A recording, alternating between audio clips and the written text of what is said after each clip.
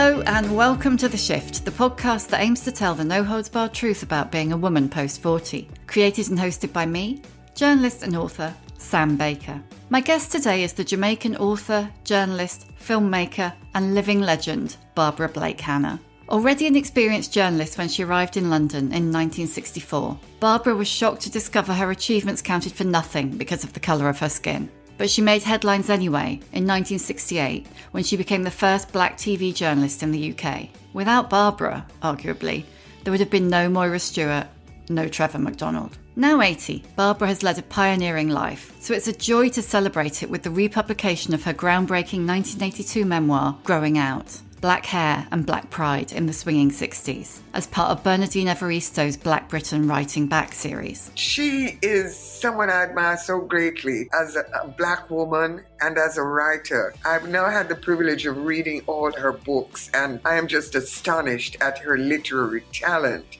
and her black consciousness. Um, it's so wonderful. From her home in Kingston, Jamaica, which she shares with her son, Barbara told me what she learnt from being at the sharp end of racism, feeling new again at 80, and how she learnt to love herself as a black woman. Plus, she introduces me to my new mantra time is longer than rope. How are you feeling? Oh, I'm not too bad. I've got long COVID, so it's such a pain. Did yeah. you find some golden seal? No, I didn't, but I'm going to get some on the internet. It's very good to flush your system. I mean, if I have a headache or feel I'm getting the flu, I'll drink three cups of tea in the day, and by the end of the day, it's gone. It's the only thing I could recommend now for your long COVID. Health food store would probably have the powder. That's how I usually have it. But the capsules, you can just open a capsule and drop that in some hot water and make yourself tea. What's in it? It's a root, golden seal root, and they just powder it. It's like turmeric or any of those. You know, it's just a healthy thing to have. Jamaicans, we're very organic in our health. We go there first, and when nothing works, then we'll go to the doctor or use pills or whatever, you know? So, golden seal, we always have. Turmeric, we always have. Ginger, raw ginger. Those three things are very essential. I had COVID briefly. I didn't have a very bad attack of it, but golden seal, turmeric, you know, throughout the day, teas. So I can tell you, try and get yourself some, darling. It's been going on four months now, and it's like, wow, well, enough, wow. you know, enough. Wow. We're really fortunate because I'm definitely over it. My son, you know, the after effects lasted him a long while, but we're both totally over it. Try and get yourself some golden seal. Every leaf has a medical purpose. Yeah. Every one. They're now just discovering the efficacy of cannabis CBD oil. Yeah. And here we are in Jamaica where we use ganja every day. Maybe, you know, why we're in good condition now. You know? yeah. This is why you've recovered from COVID and I haven't. That's what it is. Oh, that could be why. You know? it's not legal in England yet, is it? I don't yeah, know. you can get CBD oil and things in health food shops now. It's worth the expense, darling. Two drops at night, it really is worth the expense. You're you a good advert for it. Yeah, your body needs it. You have CBD receptors. Your body wants it, darling. Your body wants it. Listen to me. Look at me. Yeah. I'm going to be 81 years old in two months' time. And things like that that I've been doing all my life, you know? I think you are the unwrinkliest grown up I've ever seen. you never had anything done? Or no, no. First of all, I don't use makeup. Well, I put some powder on my face, but I don't use makeup. So I've not been, you know, pulling my skin to wipe off eyeshadow and that sort of thing since I was maybe 30. I haven't been using makeup. You know what I mean? Maybe I use some olive oil if my face looks dry. Revlon would go out of business if everybody was me. And yeah, that's true. Another thing is I smile. I think smiling a lot keeps your, your face, the wrinkles from, from growing in. You know what I mean? so, and then, as I say, to use ganja, you know, virtually every day of my life. I've stopped smoking for some time now, but I find other ways to take it into my body because they say your body needs those receptors. The receptors want to be massaged and connected with. So we've been doing that all our lives, smoking this illegal thing. we say ganja is for the healing of the nation. And now they've discovered it is a medicine. It is for healing. So Rasta say, yeah, we've been telling you this for so long, you know, finally listen to us, you know. so oh, here we are. You're my new guru. Now your program is for ladies 40 and over. I mean, I'm twice that age now. I had my son when I was 45. Did you? Yeah. And I breastfed oh. for several years. So I oh. see that my body regenerated itself. Where does milk come from in your body all of a sudden? Good question. I say my baby brought it. My baby being in my body made it start producing milk and it started functioning. So I didn't stop after three months, as some people do. I just let it go on doing that, and the body just kept regenerating itself. So the longer I breastfed, the longer the body got a chance to refresh itself. Those are the only reasons I can see why at this age I'm still hale and hearty and in such good nick. You know what I mean? You really are. I wouldn't be that rude, but you really are in good nick. so, if you had your son at 45, I, we will talk about the book in a minute, but this is really interesting, and you were breastfeeding for a few years, what happened with menopause? I mean, my period was, was virtually gone. But I've been praying for nine years for a child. I wouldn't say I'm religious, but as a Rasta, I am. I mean, the Bible says, if you have faith like a mustard seed, I will grant, you know, what you ask. So have faith. So I kept for nine years, I kept saying, I called God Jah. I kept saying, Jah, Jah, I haven't forgotten you, you know. Don't forget me. Yeah, I'm still here. I'm still asking. And after nine years, there was a prayer, an Ethiopian prayer someone gave me. And I sat down one day and read it all the way through. And it said, there's a certain point, anoint yourself. And so I did and asked for what you want. I said, a son. And within a month, I was having funny tummy pains. Went to the doctor. He did a test. And he came out and he said, Barbara, it's a miracle. Call one of his names John. That was what my doctor said to me. So there I was, you know, with a son at 45. And I don't know, miracles occur. And that's certainly a miracle. I call him a miracle child. You know, it's proof to me that, that faith works, that prayer works. And, you know, all those cliches, you know, that's my liberty. That's what Rastafari teaches me to believe and to do. And that if you live according to the instructions, you know, the Bible mm. is handbook. Yeah, you know, check it out. See if it really works. Why not? You know, it does work and has worked here I am sitting in front of you. I'll be 81 in June.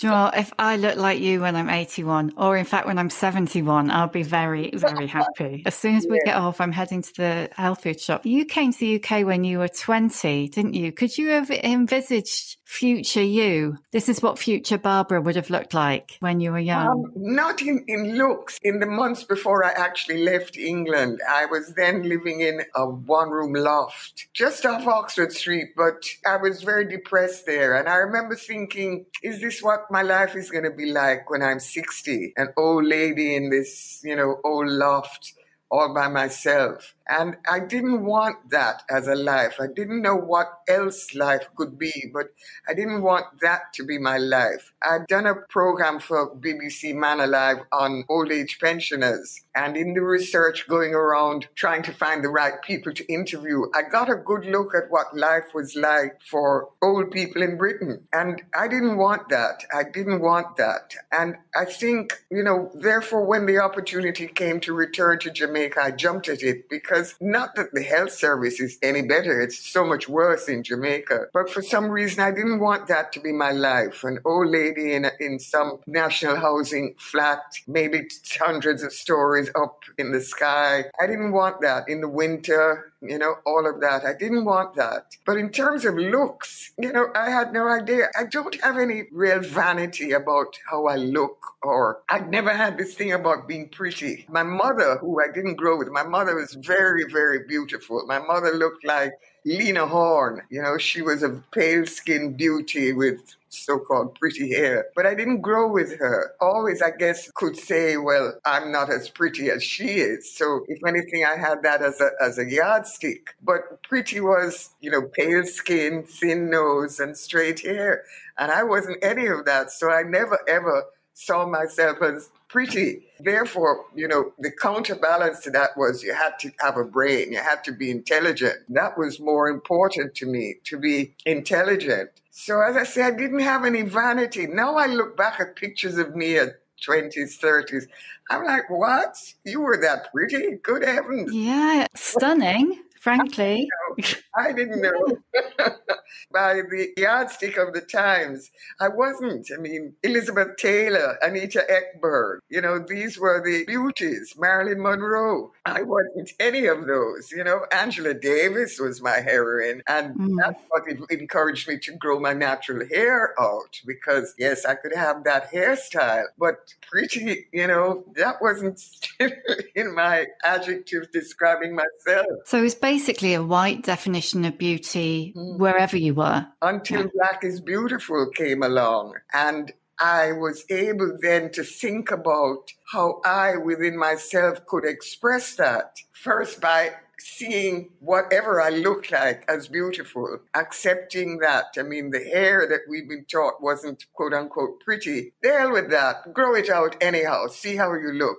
And lo and behold, growing it out, I discovered I had this pretty hair. By the time I'd grown it out for several years, I discovered I could set it on rollers and it would fall into nice curls or even be quite straight. I didn't know. We didn't know. We'd always been told straighten it, straighten it. And to discover that in its natural state, it was itself beautiful. And then to grow my dreadlocks. And I mean, my dreadlocks are really long. They're down to my ankles now. Yeah, they're all um, yeah. they're all wrapped up. Now just hang them down and plait them. My plait is quite long. Oh gosh, this is such a shame that this is not a video. It's like Barbara's like waved this great big lasso of, of dreadlocks at me. It's yeah, Absolutely amazing. That was another beauty in itself as it grew and grew longer. You know, we always, when we were young, wanted to have hair that we could flash like the white girls. You've got that now. You had the locks, you know, you could flick them, you could put them up in a ponytail, you could hang them over your shoulder. So we had another level of beauty that was totally different to white beauty. You know, girls like like Halle Berry came along and showed us another stage of beauty. You know, that the brown skin was beautiful. I mean, we'd had Eartha Kitt before and even say Dorothy Dandridge. The whole business of beauty evolved from the 60s, from that whole black is beautiful bridge that we jumped over with our hair. Thanks to Angela, whose birthday we were celebrating yesterday. So, was Angela Davis the first woman who gave you an idea of what was beautiful for a black woman? Exactly. And not only her face and hair, but what was going on in her head, the whole mm. attitude of pride in being black, black history, not just contemporary history of slavery, but black history way going way, way, way, way back. We had been told that Egypt was white people like Elizabeth Taylor and Cleopatra. We thought Egypt was white, was European people. The more that Egypt that's revealed, the more we see the Africanness, the features, everything. That in fact the Sphinx's nose was shot off because it was so African. To see Tutankhamun's um, face mask and see very African features of his nose and mouth and his cheekbones, even though the mask was gold, we could see this was the mask of an African man. So more and more we could see the beauty of ourselves as more of that history, the layers like an onion skin were peeled off. So the 60s was a watershed for us. It was a time when Martin Luther King, Malcolm X, the anti apartheid movement in South Africa, the battle for independence from colonial rule all over Africa, all those things were happening in the 60s. And we were accompanied by the white people who were fighting against the war in Vietnam, the white people who were saying, make love, not war, that whole, you know, Beatles mm. music revolution that was happening where there was no racism in the Beatles, in that culture. There was no racism. It was make love, it was love. The Beatles went to India and got their spiritual consciousness among another race of people, another culture. So the 60s was a great melting pot for the world. And we're there again now with Black Lives Matter. It's like a replay. I don't know what to call what happened to George Floyd, but the George Floyd murder. So many words you could call what happened there. They, they say it was a lynching, that's the word. But it, the international revolution that came about because of his murder has been another catalyst, melting pot for our own attitudes toward ourselves.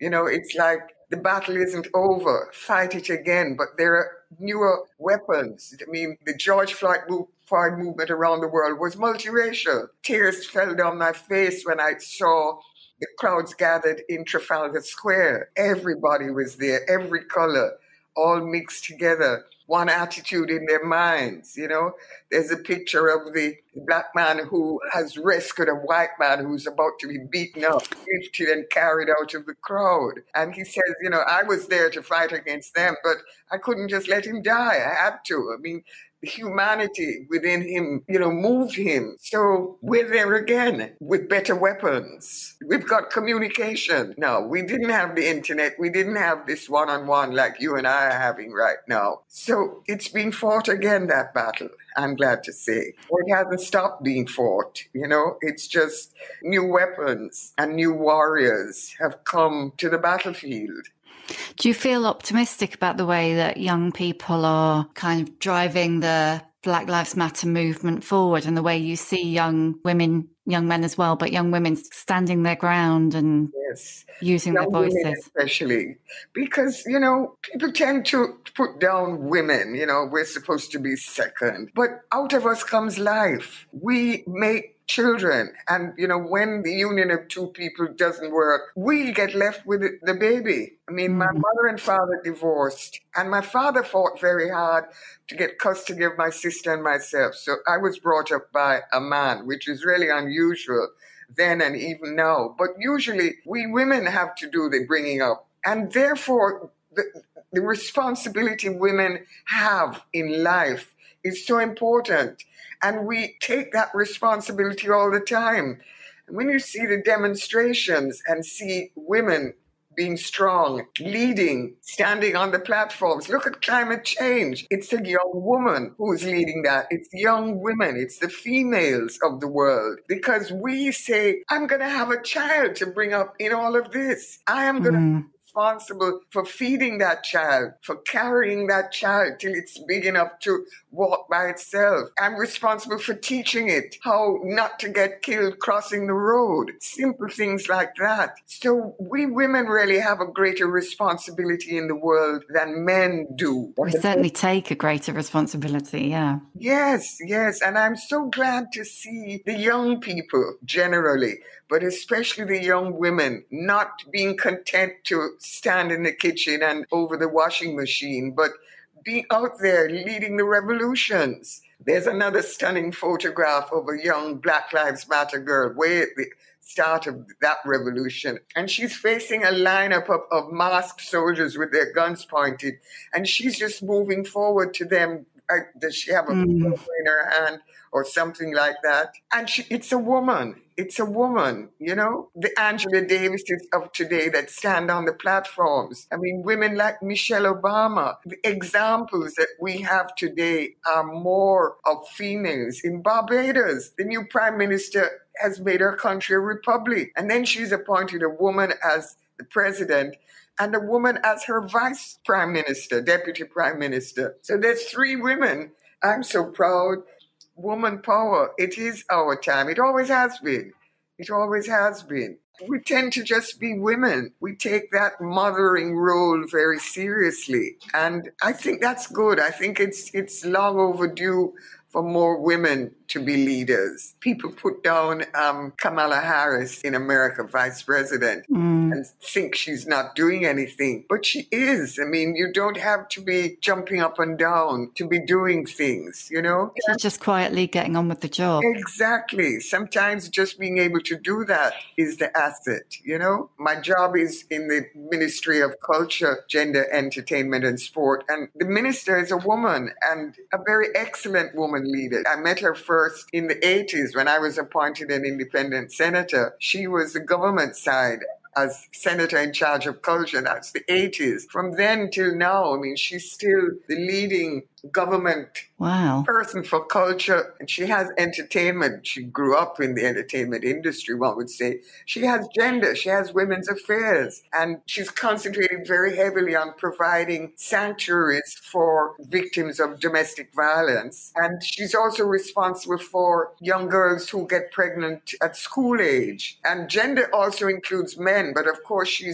concentrates on women's issues. And then sport. I mean, our leading sports person was Usain Bolt, but now yeah. is a woman, Elaine um, Elaine Herrera. I, I don't remember her. Elaine Thompson. Yeah. Thanks, Barbara's son. you can hear him. Thank you. she is our sports heroine now. So it's woman time. It's long overdue for it to be woman time. And we're doing it, and we're doing it very well as well. Yeah. And you say in your book that you were brought up to be a black English woman. Could you have envisaged, you know, the way that women have begun to get more powerful jobs, you know, running more countries when you were being brought up in a very different way to how you've decided to live your life? No, I mean, I really was brought up to be a black English woman, and that's all we were supposed to try to be. Our education, everything was teaching us to be English because we were an English colony. As I told you, I was brought up by a man, by my father, and I realized how much he taught me to be a strong woman.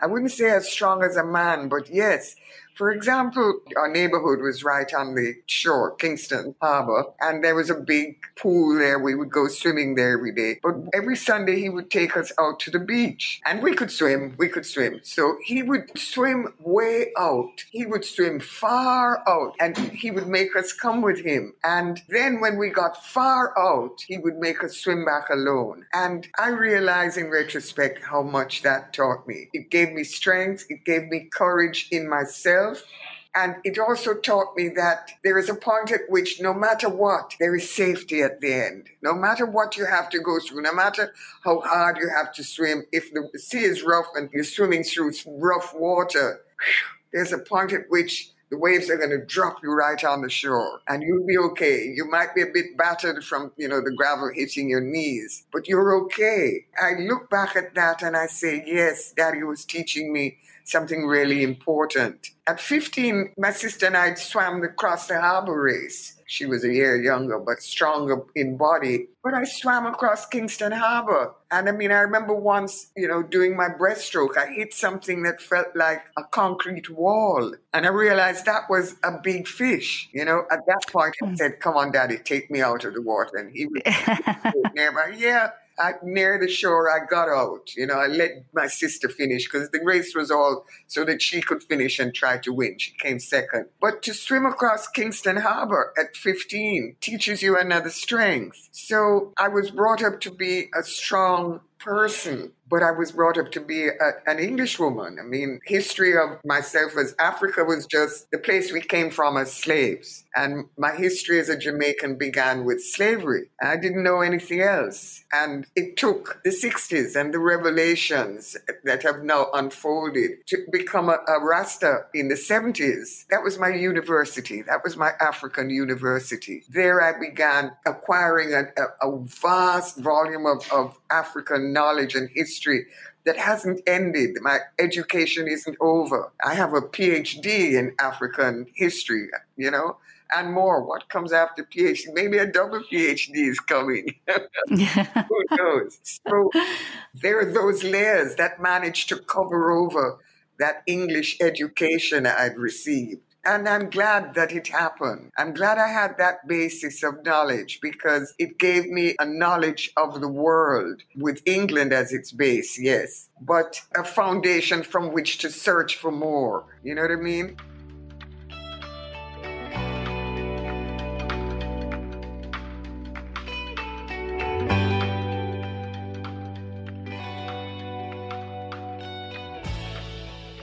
I learned about art, the great artists of the world. I had access to literature, the great writers of the world. All of that kind of education was a very good foundation for me, even though underneath it all was this, but you're inferior because you're black, because you're not mm. because you're not European, you're a second class citizen. It would always teach me, you know. Um, I'm so glad to have eliminated that from my knowledge, from my being. You know, the whole world now, maybe they, they don't live it, but we know we're not inferior. Maybe the way we're treated is inferior, but we know we're not. We know our history now. When they rolled Colston's statue down into Bristol Harbour, he sat and applauded because we'd never heard of him before, you know. I'd never No, no, I'd never heard of him. But I looked him up and discovered there was something called the Royal African Company, which was headed by the royal family of the time, and that he was the largest exporter of slaves. What? And that the whole of Bristol was made wealthy by his wealth from enslaving my ancestors. What? Why? Those four kids who got arrested for mm-hmm. holding the statue, those are heroes. Those are heroes. Those are four young people I would like to meet. Four young white people I would like to meet. They said they did it because it had to be done, that the statue being there was an insult to people they knew. I can't believe that four little white kids did that. That's so beautiful. I'm sure if you get here, they'd like to meet you, or they'd probably like to come to you, actually. oh, wow. What a day that would be. What a conversation we would have. Gee whiz. Because I don't know my ancestors. I know my father. I never met his father, although every Emancipation Day he would drive us down to James Hill, the little country village where he had been born and where his father had been born. His father had been born just as slavery ended. So his grandfather was a slave. And I mean, who are these people? I don't know any of them. You know, who were they? There's no way I can track them down. Why? What was the pain of it all? The anger that I have to suppress. You see, I can't even find words to talk to you about, mm. darling, because it's just so awful. When you read about what slavery was like, what slaves had to endure, the enslaved people, because we weren't slaves, we were enslaved Africans some of the, the things are so awful, I can't describe them to you. I don't want those words to come out of my mouth. So I have to put down the anger because I don't want wrinkles. I want to be all yeah. smile, you know? I don't want furrows in my forehead because it makes you angry. So those four little kids who rolled that statue down to the harbor, oh boy, they make me so happy. Tears roll down my face, tears oh. of joy. Oh, I was just so happy. I could see George Floyd clapping. I could see my ancestors clapping. Every, oh, oh. you look so happy. Yes. Yes, the world must change. One day someone's going to apologize for slavery, apologize big, big, because there's so many millions of people to whom that apology must be directed. The spirits of our ancestors are here listening and waiting for that to happen. It must come. Those four little children apologize. They're children. They're my grandchildren. At my age, they could be great grandchildren got to give them thanks. You were in the UK for, was it eight, nine years from 64 to 72? Yes. What was your experience back then? Well, I came to England knowing that I was this, you know, second class person, but I didn't realize what racism was really like. And experiencing it each day, a new layer, a new experience, was a revelation. I think if I hadn't been the person I was, I mean, I knew who I was. As I said, my father brought me up with that strength, and we had lived a sort of upper middle class life. He'd sent us to the best school in the Caribbean, a school where only the wealthy from the Caribbean islands were sent. And we lived the kind of life where I had a, a, nursemaid, we had a housekeeper, we had a cook, we had a gardener. So I lived that kind of life. I didn't live a ghetto life. I wasn't. Mm. So I had a, a sense of myself. I'd done things in Jamaica that also gave me a sense of myself. Been in the pantomime, I wrote articles, I broadcast on the radio and TV. But to discover that all of that meant nothing in England, really, because of the color of my skin, was something I had to get used to coping with. And I think politeness and diplomacy is what got me through a lot of that until I, I made a few friends and was able to have them as a buffer between that and what I hoped should be, you know? Mm. I lived in Ladbroke Grove a lot of the time. I had a nice flat for several years in Chepstow Road, long before it was gentrified. I was in England a few years ago. I couldn't believe um, how Nottingham Gate has become so upper class. It's dead posh now. oh yeah. my gosh, I mean, it was definitely the ghetto when I lived there. Um, that was a, a, cushion as well, you know, because there was Portobello Road and you could buy patties on one end and green bananas. And at the other end, I used to love um, vintage clothing. I used to love those secondhand dresses cut on the bias in those lovely fabrics. That was two sides of life right there around me. There were white people living on one side and black people on the other side and, you know, crazy people across the road. Yeah, you know, always. The guy who worked with Mr. Fish Boutique lived on the corner. Life was very interesting. And I liked that. I mean, we all young people who go abroad to see the world. We gain an education no matter what, you know. When you were in the UK and you became the first black TV journalist, could anything have prepared you for the reaction to that? No, of course not. I didn't know when I got the job that I was the first. I mean, it was just another job. You know, I'd been a journalist all my working life from I was mm. 17. And as I said, I'd done some TV in Jamaica. I'd even been hostess of a weekly quiz show. So, you know, on television every week. That was no big thing. I'd read the news. When I was working as the PR for Jamaica, I'd had two opportunities to be on television. One to talk about Jamaica and another time to answer questions. So to apply for a job as a journalist on this new television station, thinking I would, you know, write news, and then to be invited to be an on-camera journalist that was cool. That was no problem. It was just another step in my career as a journalist when the media made a big thing of it the day after, it was on the front page of all the newspapers except the Daily Express.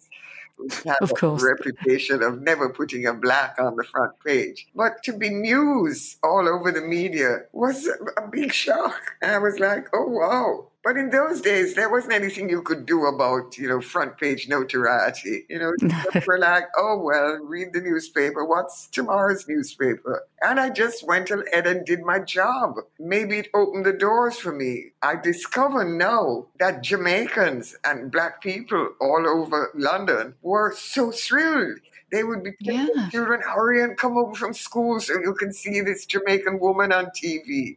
And they themselves made it a point to get home from work in time to see me on television. Now they tell me, you know, years later, yeah. them and they tell me.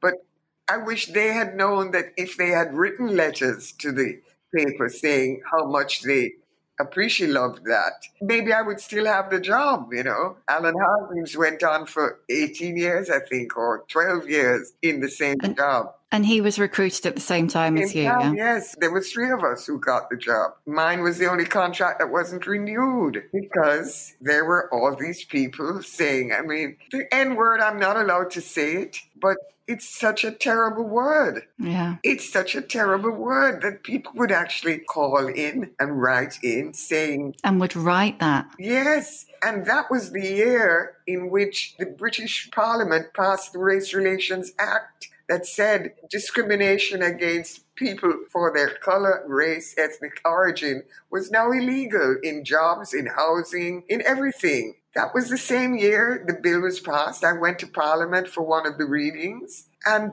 Thames Television could have said to these racists, no, we're not going to fire her. There's a law now that says we shouldn't. And moreover, we don't agree that her color is an offense, else we wouldn't have hired her. But they didn't say that. They said, okay, racists, we agree with you. We will please you. We will do what you want. That's just the most shocking thing of all. At that point, you had no recourse through the Race Relations Act. No, I mean, there was no organization I could appeal to to say, you know, please champion my cause. There was no movement to say she must not be fired. There was just me, you know, another black person fired for being black. There were so many of us all mm. over losing their jobs for that reason. So I was just another. So I just tiptoed quietly away, went back to my little Ladbroke Grove flat and back to the temporary secretarial work till my agent found me another job, this one in Birmingham, doing the same thing and in fact suffering even more racism there, you know, till I realized, boy, this ain't never gonna stop, you know? These people just hate you for being black. And nobody was teaching those people the reason why I was there. Um, and nobody's teaching the history. Um, Bernardine Evaristo, her autobiography, her manifesto, she writes about the fact that her brother was so hurt at being made to read the book Little Black Sambo in school. I cannot believe they really did mm. that. Little Black Sambo in school and made little black children read it. I can't believe. I can believe it. Yeah.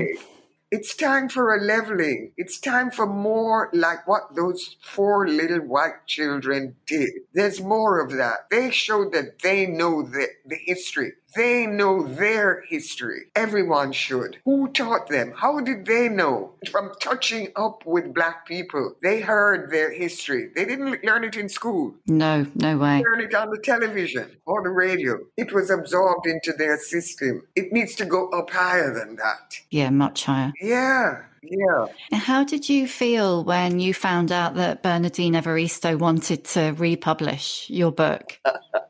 Oh, wow, that was one of the greatest bits of news of my life. I think it's second only to having a, a press award named after me, after my experience. That's brilliant. That was launched in 2020, yeah, yes. the Barbara Blake Hannah Award. Yes. I mean, to meet her, well, digitally, not in person yet, but she is someone I admire so greatly as a, a black woman and as a writer. I've now had the privilege of reading all her books, and I am just astonished at her literary talent and her black consciousness. Um, it's so wonderful. One of her books, um, Black Roots, I think is the title of that one, where she turns the whole slavery experience around and the slaves are all white people and the slave owners are all black. That's such a funny book and such a true book, looking at slavery from what if it had been black people enslaving white people? What would that be like? She's just always completely stuck to her guns yeah. and done her thing regardless of what and was what going on around nice. her.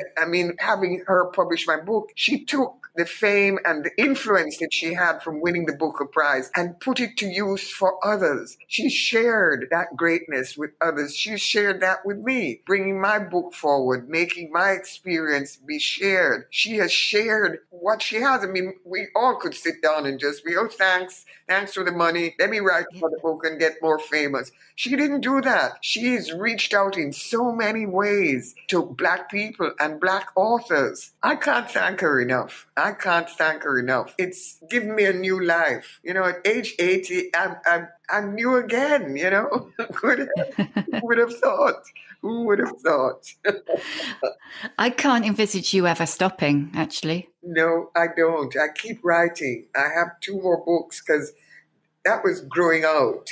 I've now written growing up because coming back to Jamaica, I grew up. I mean, that was getting to know my country all over again as a black woman, because I left Jamaica as a black English woman, as a would be white, but I came back home as a black woman and a Jamaican. I'm collecting a book of my short essays, past columns. I'm putting that together mainly for the history. History must be put down, put together. And here I am, Barbara Blake. I've become somebody, Barbara Blake Hannah. It needs to be put down for the next generation to read about. Those experiences need to be shared. So I put those together in growing up which is my next book. I'd actually put it up on Amazon, but I haven't um, publicized it much. So it is available on Amazon and people are reading it. But I'll speak more about it after the launch of Growing Out. Yes, yeah. Growing Out, you know, get its wings and fly.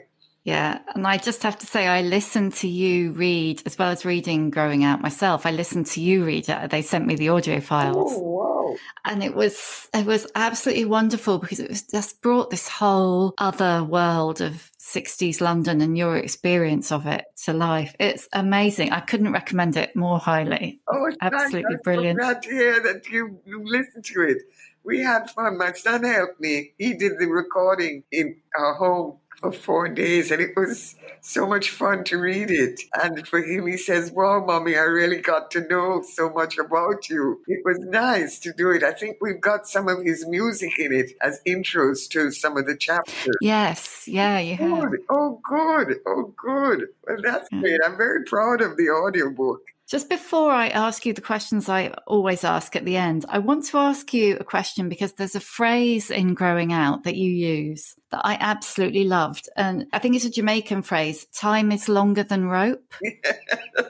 it's a very Jamaican phrase. We use it to say everything is endless. Don't think that things are going to stop here. Time longer than rope. You didn't know in 1968 that the pain and suffering you had then, 50 years later, would make lemons into lemonade. Time is really longer than rope. You know, that's just what it means. Just wait, just wait. Time longer than rope, Barbara. Time longer Yeah. than rope. Yes. And it has been proven to be. Yes, yes.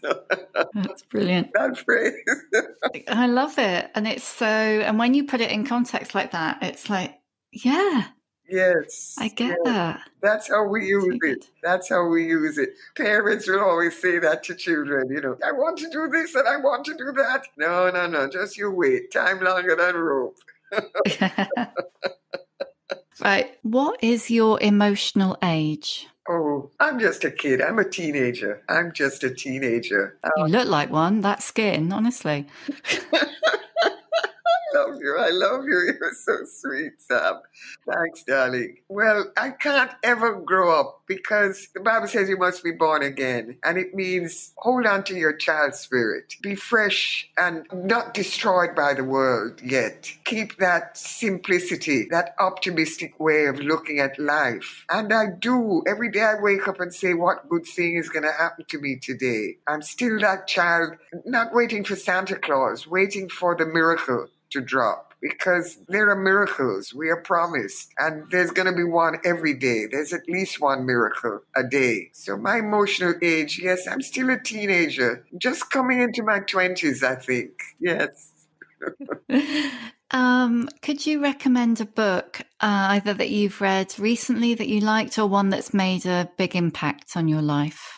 so many books have made an impact on my life the home of all world religions by dr joseph ben Jochannan was a book that really taught me a lot the bible of course Bernardine Evaristo's book, Girl, Woman, Other, impressed me enormously. I really enjoyed reading that book. It showed me so much as an author and as a woman and just as a person.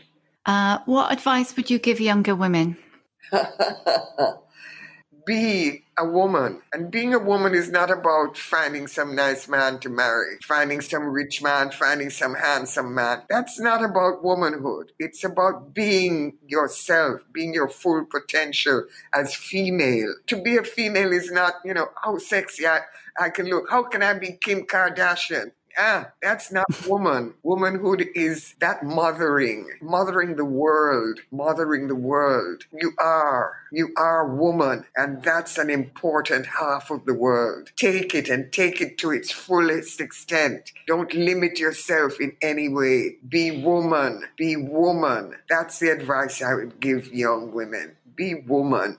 Um, who is your old bird role model? So, an older woman who has inspired you. Una Marson, journalist, first black woman on British radio in the 40s in the war time, Nanny of the Maroons, the warrior heroine, Angela Davis, Winnie Mandela, Angela Davis is, I don't think she's much older than me. Winnie Mandela probably around would about the same age if she was still alive. Those would be the women that I would, you know, stick their pictures on my wall. Yes, the female women of today. Yes. What's your superpower? My superpower is love. My superpower is love being able to love unconditionally, love the world, love people, love all people, to give love at all times. My superpower is love. Yeah, yeah. And lastly, how many fucks do you give? I don't know what that means. I mean, how much do you care about all the noise in the world?